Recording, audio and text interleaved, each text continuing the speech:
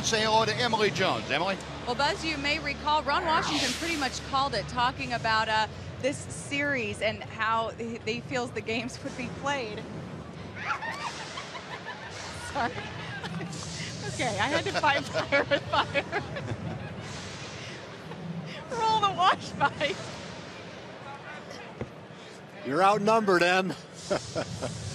You're outnumbered.